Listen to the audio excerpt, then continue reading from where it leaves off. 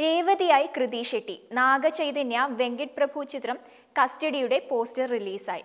ചിത്രം അവസാനഘട്ട ചിത്രീകരണത്തിലാണ്. ചിത്രത്തിന്റെ റിലീസ് തീയതി അണിയറ പ്രവർത്തകർ പുറത്തുവിട്ടിട്ടില്ല.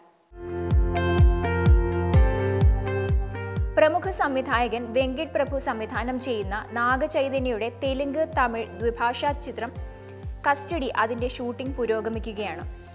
നാഗചൈതന്യയുടെ ചിത്രത്തിലെ ഫസ്റ്റ് ലുക്ക് പോസ്റ്റർ പുതുവർഷത്തിൽ പുറത്തിറങ്ങിയിരുന്നു.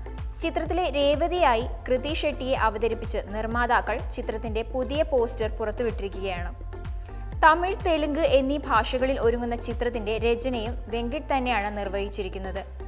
തമിഴിൽ നാഗചൈതന്യ ആദ്യമായി ഒരു മുഴുനീള വേഷം ചെയ്യുന്ന ചിത്രമാണിത്.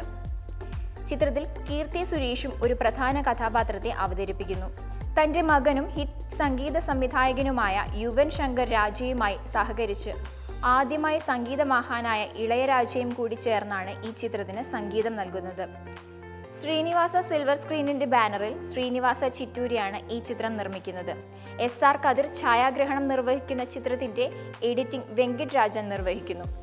സെപ്റ്റംബറിൽ ചിത്രീകരണം ആരംഭിച്ച ചിത്രം ഷൂട്ടിംഗ് ദ്രുതഗതിയിൽ പുരോഗമിക്കുകയാണ്.